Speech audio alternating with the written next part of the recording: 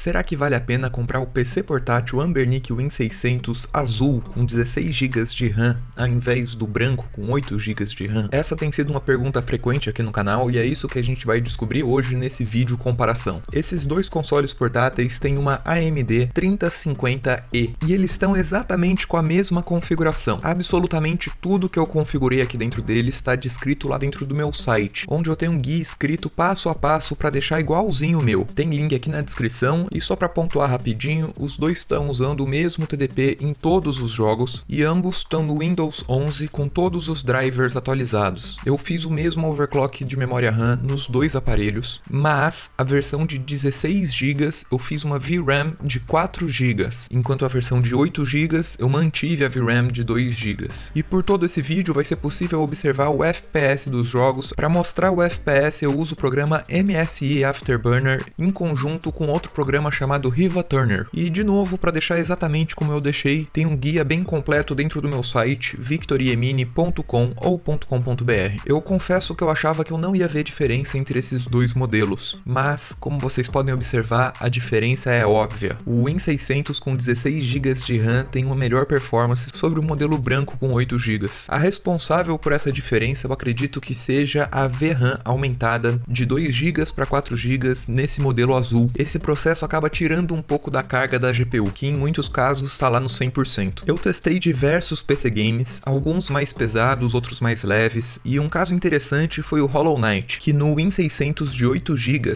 ele tinha frame limit ativado em 60 FPS, e eu não consegui desativar na configuração, enquanto o Win 600 azul de 16 GB ele vinha com FPS limit desativado e passava dos 100 FPS em muitos momentos. Mas a diferença também é clara em outros jogos mais pesados como Shadow of Mordor, que sem configuração nenhuma, a versão de 16 GB de RAM está muito mais jogável. É importante lembrar que todos esses testes foram feitos sem configuração dentro do jogo, para a gente poder realmente comparar essa diferença de performance no estado original de cada jogo. Só abrir e jogar. A única exceção foi o Cults of Lamb, aquele novo jogo da ovelhinha satânica, onde eu comecei jogando com os gráficos no Ultra e em nenhum dos dois consoles eu consideraria essa performance muito jogável, apesar de dar para jogar, mas depois depois eu baixei a qualidade do gráfico para médio, o que deixou o jogo muito mais jogável em ambos os consoles, mas de novo o Win 600 de 16 GB sai ganhando. Eu acho muito estranho como um jogo minimalista desses tem dificuldade de rodar nesses consoles. O gráfico parece ser tão simples. Por exemplo, eu testei também Resident Evil Revelations, que parece ser um jogo muito mais elaborado e é capaz de rodar em ambos bastante bem, mas como também é possível a gente observar, na versão de 16 GB ele está rodando muito melhor. Eu diria que é 100% jogável nesse estado e esse Resident Evil é um dos meus prediletos. Ele é cheio de reviravolta, plot twist. Eu não quero dar spoiler aqui, mas a maior parte do jogo é dentro de um cassino e o jogo é muito, muito bonito. Esse foi um dos primeiros jogos que eu zerei no Nintendo Switch e com certeza eu vou deixar ele instalado aqui dentro do Win 600 azul. Em resumo, esse Win 600 azul com 16 GB de RAM e 1TB de SSD é sim superior ao modelo branco de 8 GB.